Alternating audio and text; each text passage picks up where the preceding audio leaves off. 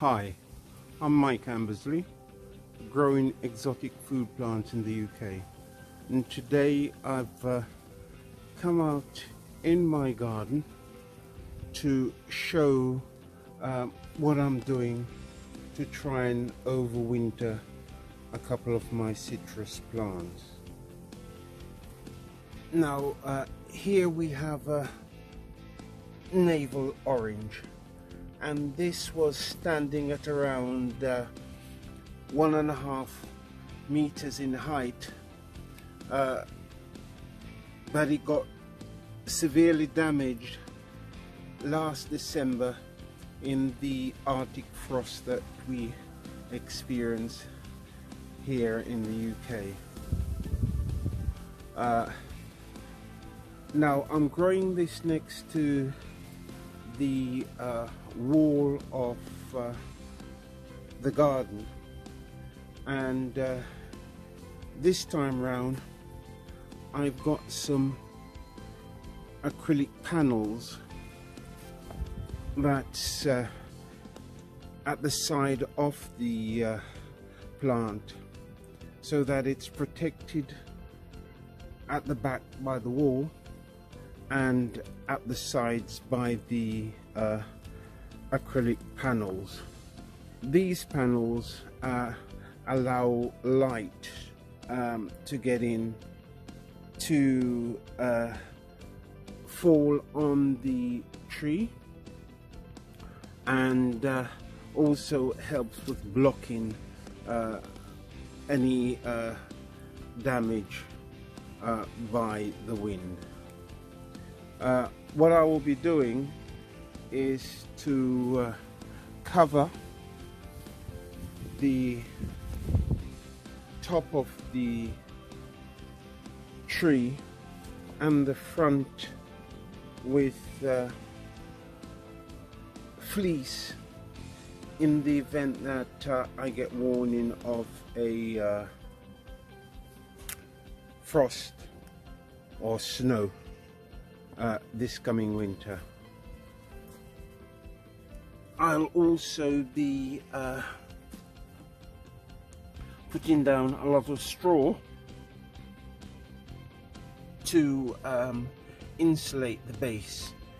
These plants are uh, actually planted in a bucket and then the bucket is uh, buried in the ground so that feeder roots can get through uh,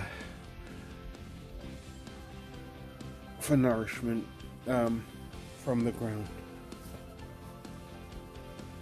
I have another plant here which is a mandarin orange. Sorry a mandarin clementine. And that too is planted in a bucket that you can see down here and that bu bucket is uh, buried in the ground. Same way as for the navel orange. This too was uh, grossly affected by the uh, winter the past winter. Uh, but both the navel orange and this mandarin clementine has uh, put on a lot of growth. So they're back to around uh, half the height that they were. This too I've uh, placed um, acrylic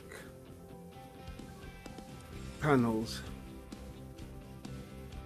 around the sides and I'll be treating it in a similar manner to the navel orange that will cover the top with uh, fleece in the event of uh, temperatures going below zero um, or there are uh, frost or snow and I'll be uh, putting straw around the tree to provide uh, extra insulation for the roots. I'm just hoping that the measures that I'm taking is going to provide the uh, sort of uh,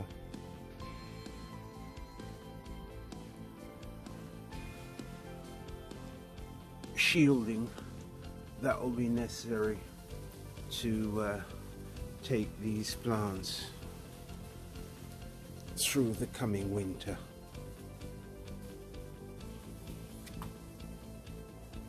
Thank you for watching.